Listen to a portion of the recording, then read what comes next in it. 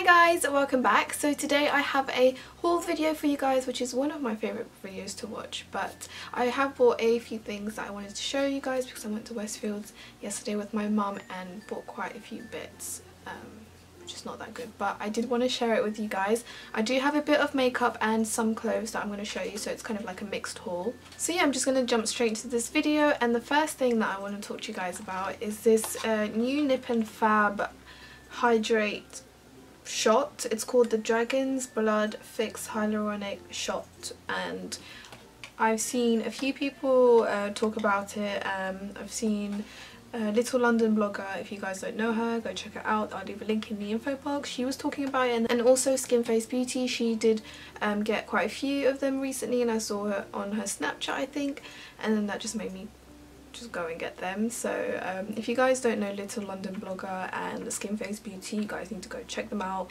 I'll leave a link to their blogs um, in the info box. But anyways I did get this. It was an offer for $12.99 instead of like 25 I think they're kind of pricey but um, I because they were on offer I definitely need to get them. So it says it's intense hydration concentrate with 50% hyaluronic solution. So hyaluronic acid is kind of like um, a moisture magnet kind of ingredient. It, it, helps to keep the moisture in your skin. So anything with hyaluronic acid in there or, or something hyaluronic, I'm just all for it so um, I had to get this. I have used this last night and this morning so far so good there's no blemishes or breakouts on my skin um, it does have a men's scent however so I'm not too fond of that but if it's going to do good for my skin I'm not too bothered it does um, feel quite nice like very luxurious um, and it does give a tacky feel to your skin which I don't mind but I feel like you wouldn't wear I wouldn't wear it on its own. I would definitely put a moisturizer on top and it does say to either mix it with your moisturizer or just use it by itself at night time or something but I would definitely recommend it with moisturizer. So this is what it looks like. It comes with like a little pump thingy here and it's like a pipette really. By the way guys I have filmed a tutorial on this makeup look. I did not wear the same lip though in the makeup tutorial I did use a brighter colour because I wanted it to be a monochromatic kind of Valentine's look. So that will be up later on like in a couple of days or so. Um, but I did use this so you'll see this guy in action. But yeah so far I'm really really liking it. I did also have to go get some face sponges because I ran out and with these I use them like a few times and then I just throw them away. But these soft cosmetic sponge wedges from Boots they're really really good. They're like 1.95 for like 5 in there. I really really like this to blend my concealer out and also bake underneath my eyes. Um, I use this all the time and I only recently started using them and then when they ran out I kind of found myself being like okay I need them now so I went and got some more. So I definitely recommend this especially for baking. From Boots as well I did also pick up some Veet face wax strips. They have a new formula now. It says it's got an easy gel kind of thing. Why isn't my camera focusing? So that's what that's this is the one that i always always get. I really recommend this one. My eyebrows were going all over the place lately and my moustache as well so i definitely had to get some more and get rid of all the facial hair. So yeah and I really like these to shape my brows on top because I get so much hair here and I just shape my brows and I just pluck underneath and I don't do anything else to them because I feel like every time I get them threaded they always mess up my brows so I just do them by myself now. Next thing that I got is the Soap & Glory 2-in-1 brow filling pencil and brush. I kind of lost the first one that I had and yeah I had to get a new one because I actually really really love this. I definitely would say this is a huge dupe to the Anastasia Beverly Hills Brow pencil. It has the same concept and the pigmentation is amazing and I always get dark chocolate. Now Boots has got it wrong on their website. It's, it doesn't say dark chocolate. It says something like brownie points or something like that. Like I don't know but it's wrong because on the Soap & Glory website it's dark chocolate so the Boots website has got it wrong so yeah this is a shade I always get. I'm showing you because some of you have mentioned this error with the name so I thought I'll show you guys. So it's definitely dark chocolate. And all the small boots never seem to have that shade. I always have to go to central London to be able to get that shade because I never find it near me so I thought I'll pick that one up. So for the first time ever, me and my mom did go into the Kiko store and oh my god like I did not know they had so many products. I really wanted to get the eyeshadow that everyone's been using as a highlighter but I, they had it out of stock so I couldn't get that. But I really wanted to try one of their foundations because my friend Zahara has um, tried their foundations and she said it's really good so I had to get, get one. And oh my god first thing of all for some reason it smelled so nasty in that store like I'm not even joking like when you went to the skincare corner bit it actually smelled nasty but I got the shade WB90 now I did the girl the girl that helped me was lovely. Like I wasn't fussed like because I was already getting frustrated at the people that kept stopping me like those salespeople in the middle those shops. Like I just kept saying no and they just kept insisting for me to talk to them and I was like no and then they insisted and I was just like getting really annoyed. But anyways I just asked the girl could you just show me my colour? Because I couldn't find it. And then she literally gets what colour out and she tries it on my face without even asking me and I was like I don't really want to do it. And she's like well we could but you have to do it on your face. And I'm just like no you don't. But then she put it on my face and I'm just like why are you putting on my face when I didn't want it to? But she actually matched me to the wrong shade. I was like can I try the shade darker to the one that she tried? And that was the right she gave me a really pinky one.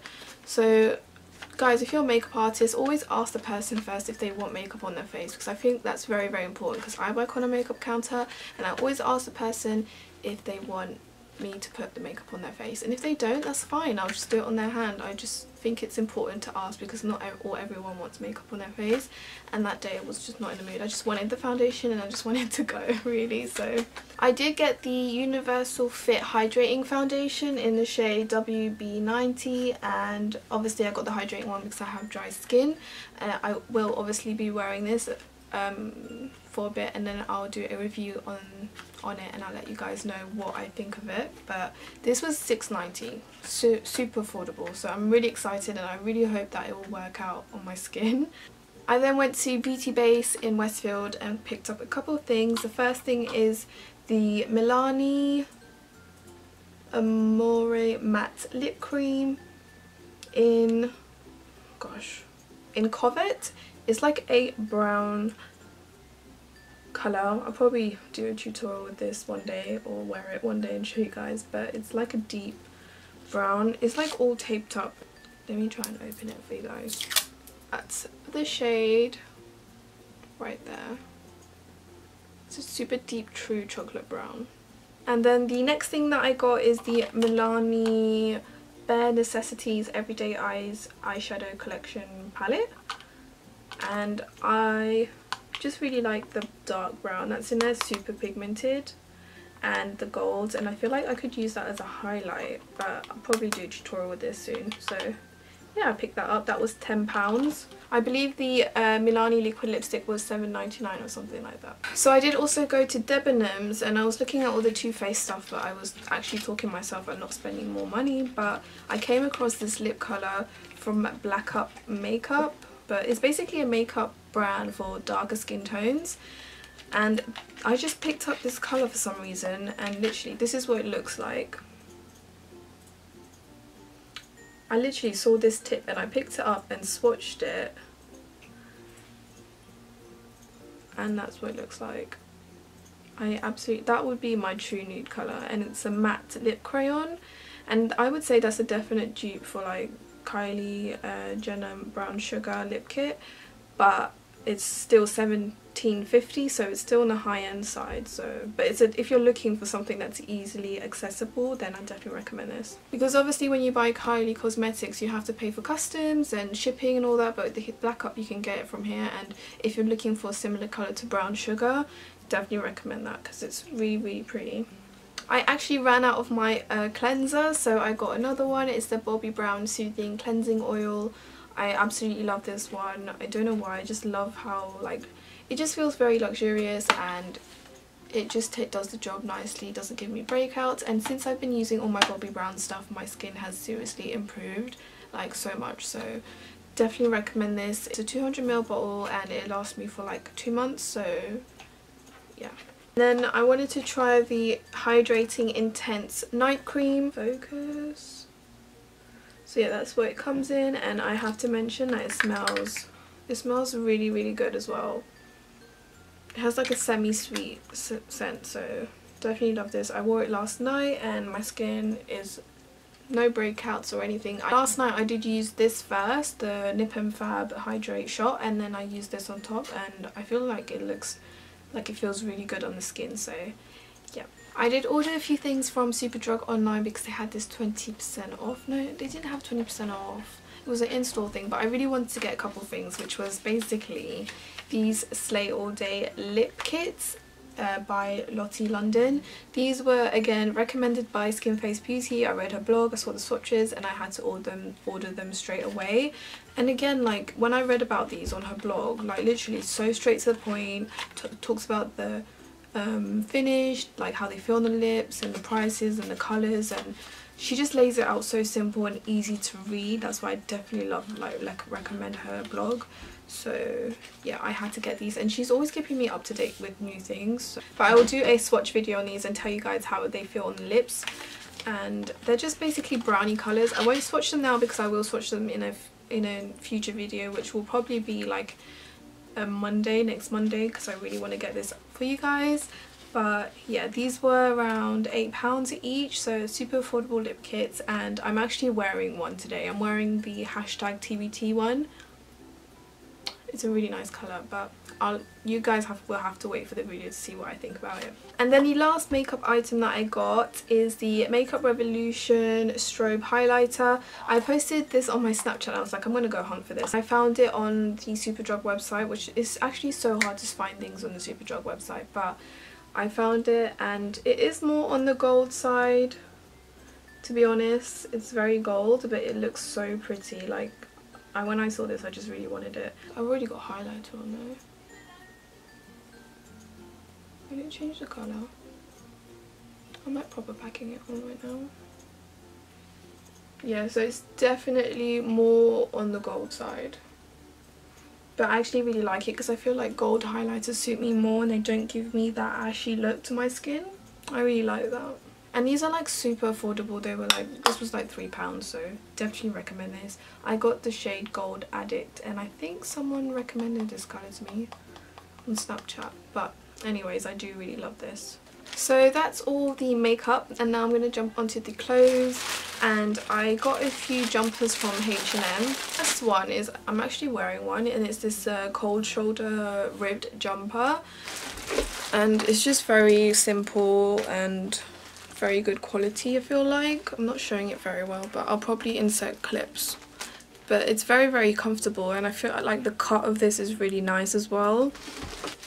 I also got another ribbed jumper that looks like this, super simple and it feels very good quality as well and I needed a black one. I don't remember the prices but I will link them in the info box if you guys are interested. So I did get another one in this dusty pink kind of colour this is feels very this feels very thick and good quality. I had to get the size l in this one because they didn't have it in stock and this was originally 24.99 and i had my eye on it for a while but it was reduced to like 14.99 so i had to get it. I did not care if it was an l because i know it'll probably shrink in the machine anyway so i got the l but it's very very nice. I then got this khaki rib jumper as well and this one has like these two little buttons on top and they're all ribbed basically because I just I feel like ribbed jumpers fit my figure better. I don't like any other type of jumpers because they just make me look so big like big armed. I have big arms so I don't like baggy jumpers because they just literally make me look so big but I still have baggy jumpers anyway but I just really like these these ones because they fit me better but yeah this is just a simple khaki one and then finally I got like a cream kind of ribbed jumper. Um, I feel like this would be see-through though. Yeah, I'll probably have to have a top underneath this because I think it's a bit see-through.